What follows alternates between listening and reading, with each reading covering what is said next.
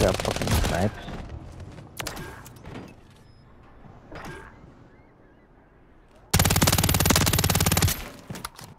I knocked him off a fucking.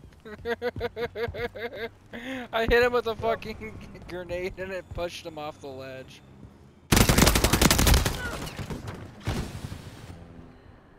Oh my god, I'm clipping that. We're planting... MW3.